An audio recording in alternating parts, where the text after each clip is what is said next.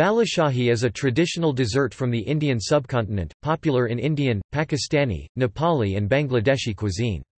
It is a famous sweet of Harnaut of South Bihar. It is similar to a glazed donut in terms of ingredients, but differs in texture and taste. In South India, a similar pastry is known as badushah.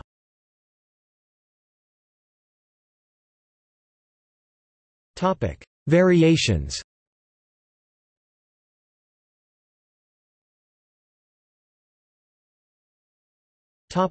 Balushahi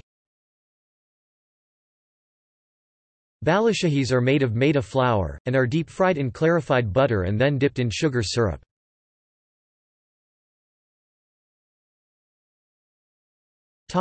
Badushah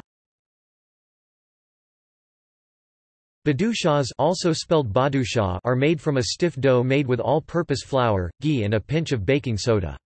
1 inch diameter 25 mm, 1 2 inch thick 13 mm discs are shaped with hands, fried in ghee or oil and dunked in thick sugar syrup so that there is a sugar coating.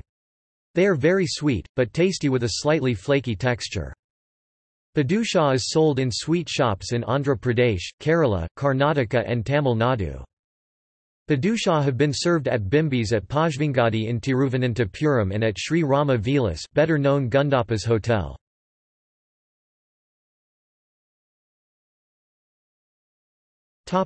See also.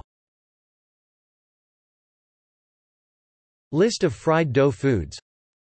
List of donut varieties. Bihari cuisine. Indian cuisine. Indian sweets. Bangladeshi cuisine